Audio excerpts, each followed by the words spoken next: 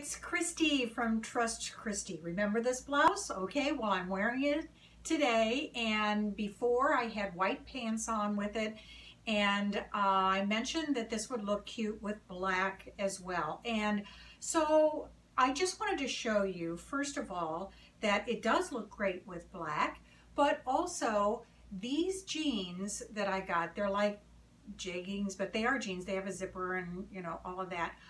Um, folks, I, I, I bought these at Kroger, the grocery store, okay? Yeah, you can find clothes at the grocery store, all right?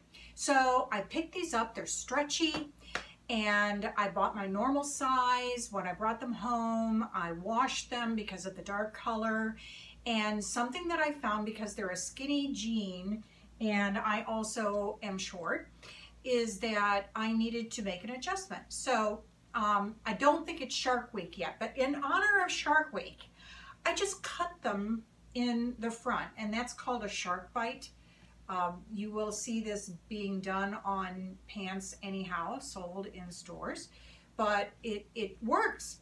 So just a cute uh, thing that you can do. Don't be afraid to do things like that because I think I paid 12 or $14 for these pants. I, I, I don't remember, it was ridiculous. But um, anyhow, I think the brand is Dip and Kroger. Yeah.